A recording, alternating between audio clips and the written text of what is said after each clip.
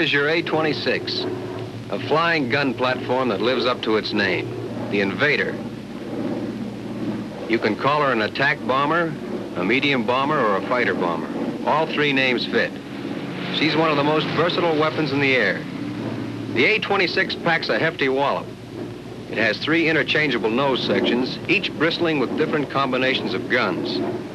This model has 650s in the nose. Top and bottom turrets carry 250s each. It carries more bombs farther and faster than any other medium bomber and doesn't sacrifice protective firepower to do it.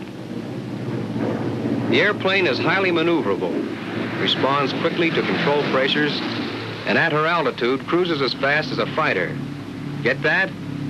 as fast as a fighter. Some airplane, isn't it? No question about it. The A-26 is a pilot's airplane. No vicious tendencies, plenty rugged, and easy to fly. Now, my job here in transitional training is to see that you pilots measure up to the airplane. Not that you have to be a hot rock to fly an A-26, but you can't go around with your head up either. Uh, everything you need to know about the airplane is right here in your manual. It's not a school book, but a practical pilot's training manual written by instructor pilots. So use it. Use your own copy along with your TOs, and you'll find your transitional period here to be the smoothest 10 weeks you've ever spent. Now let's go down the line and see how it works. I'm not going to try and tell you all about the A-26. Well, I am going to show you how to use your manual and give you a few practical flying tips. Like every other airplane, you start first with inspections and checks. Just remember that in the A-26, the number of pilot's checks has been held to an absolute minimum, so never miss a single one. After you make a complete before entering check, make a thorough visual inside inspection. Just follow the procedures outlined in your manual step by step and take your time. Your cockpit checklist runs counterclockwise. And here's a tip. No matter how well you think you know your cockpit, use your checklist. After you've completed it, you're ready to start your engines and taxi out. And incidentally, if you get that funny feeling you've forgotten something, run over the check again. Take care of your nose wheel by rolling straight ahead a few feet before turning. Taxi slowly. Don't overload your gear with fast or abrupt turns and go easy on the brakes. Ease them on. Don't jam them. And never taxi on terrain too soft or too rough unless you want to be towed back to the barn.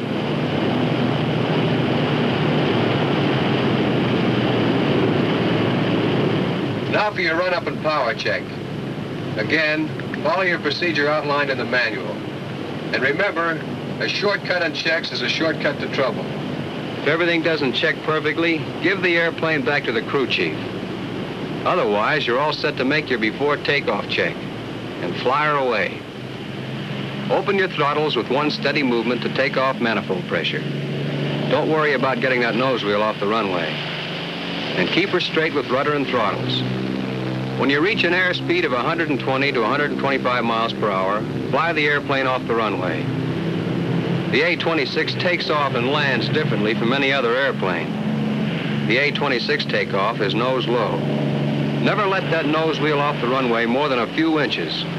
Here's why. The top airplane is a B-25. The bottom is an A-26. Now, both these takeoffs are correct, but each for the design of its respective airplane. The A-26 is a clean, high-speed airplane. Quick takeoff depends on rapid acceleration to about 125 miles per hour. With the nose wheel low, she gets up to speed and gets off fast. But if the nose wheel is held high, it creates great drag and delays takeoff. The cruising control chart in your manual will give you the most efficient power settings for all flight conditions. There's no guesswork here. Follow it exactly. Violent acrobatics are forbidden. That includes spins, rolls, loops, and extremely violent or secondary stalls. However, in a normal stall, she falls straight ahead with no tendency to drop either wing.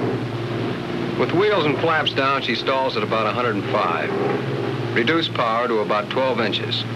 Pull the nose up no more than 15 degrees above the horizon. And there she goes. To make a complete recovery, let the airspeed build up to about 170 miles per hour before you ease her out. I'm going to show you why the A-26 is so stable in a stall. Along the top surface of the wing, I had the crew chief attach a number of little pieces of yarn. And this yarn will show you exactly what happens to the wing when it stalls. Clean, she stalls at about 132. When the stall begins, the yarn will burble near the wing root and work out toward the wing tip. The fact that your wing tips are the last to stall out give you your stability. Yarn is starting to swirl along the wing root. Notice the violent burble spreading over the nacelle just before the stall.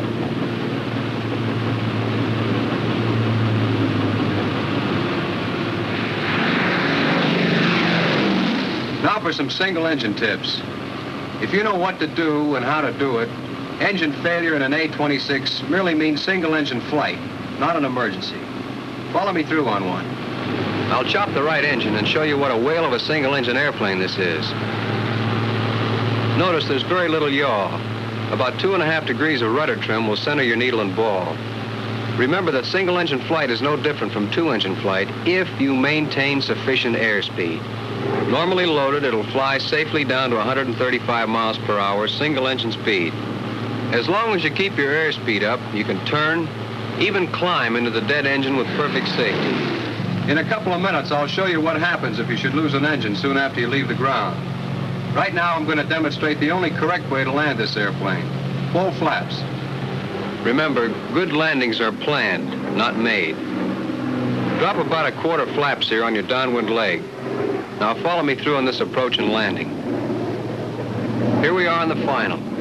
Four landing check made, altitude about 800 feet, airspeed 150. Now drop full flaps. Carry 15 to 18 inches of power, add or reduce power if necessary to maintain a constant glide of about 135 miles per hour. Break your glide and come in over the fence at about 115. Hold her level and fly it onto the runway.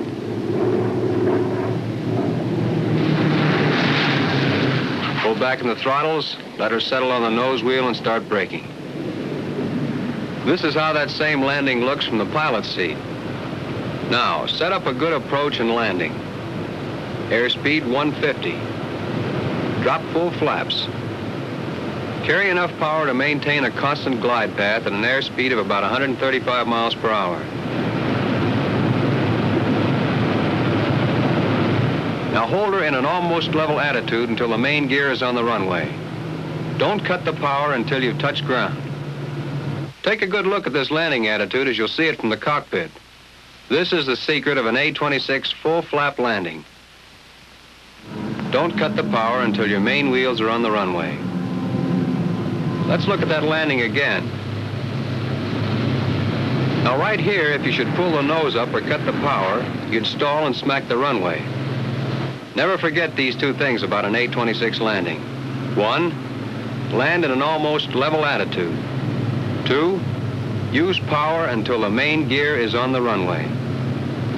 I've shown you that A-26 landings are different from other airplanes.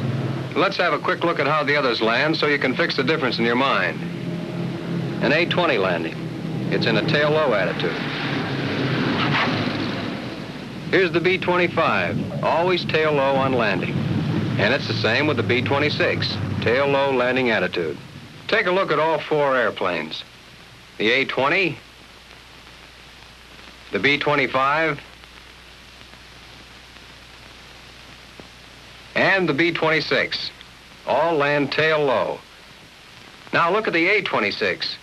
It lands in a level attitude, nose wheel just off the runway. I've kept repeating that the A-26 has a different landing attitude than any other airplane. Here's why. Here are two wing sections. The one on top is the conventional wing and flap. The bottom one is the new A-26 high-speed wing and double-slotted flap. Now let's figure we'll bring these two wing sections in for a landing. Watch closely what happens to the airflow.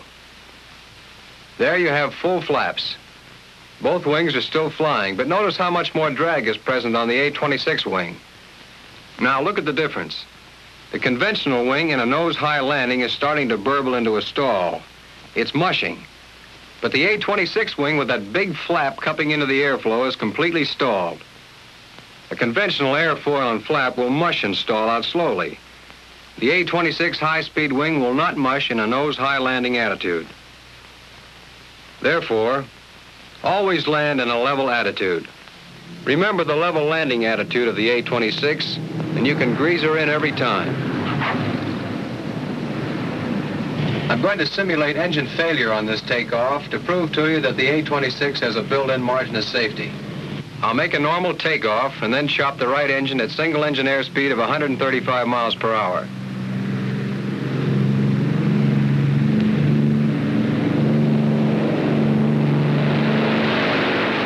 At about 125, I fly her off the ground. Retract gear.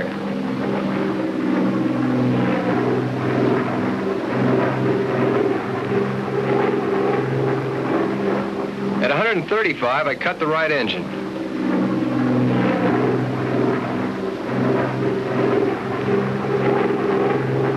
Notice the yaw isn't too bad. I'm holding the nose low to maintain 135. I'm still holding directional control with rudder. Now I've got a little more airspeed and I'm making a gentle climb. I guess there never was a pilot's bull station that didn't sooner or later get around to slicing some single engine baloney about how any two engine airplane might flop over on its back on single engine. Well, here's the dope on that. Assume that you're just staggering along very near stalling speed on single engine. Your wing goes down and you foolishly wind in aileron instead of rudder to pick it up again. Look what happens. You've increased the angle of attack up to 16 degrees and have effectively stalled out a large portion of your down wing. Your other wing with reverse aileron has a lower angle of attack. It's no wonder then that the airplane flips over on its back. Remember, no airplane flips over on its back unless you voluntarily or involuntarily put it there. With only one engine operating, you still have a safe airplane. You can climb 350 feet a minute and cruise at 200 indicated. If you lose an engine before you're off the ground, chop your power and get busy on your brakes. If you're in the air, the best thing to do is to keep flying. First, maintain single engine airspeed. Second, maintain directional control by holding rudder. And then, and not until then, start your orderly feathering procedure. Single engine landing is not much different from normal landing, except you make your turns more shallow and set your base leg out a little longer. Remember, it takes a little longer to get your gear down on single engine, so start earlier. Your approach is slightly higher, so you won't have to have a big burst of power at the last minute. Come in a little faster, 150 miles per hour. Drop only three-quarter flaps, then trim as needed. When you flare out for a landing, you can easily override any remaining trim.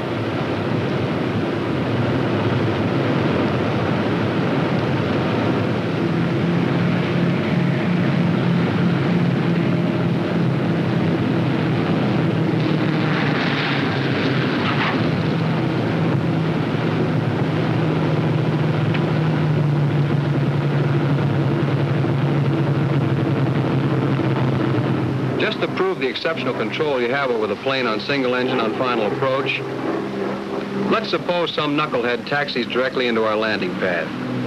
Cussing won't help. So, we ease the power on the only engine we've got, pick up the wheels and maintain single engine airspeed and directional control at the same time. Then start milking up those flaps. Single engine go-around isn't recommended in place of PT, but if you use your head, it's almost as safe.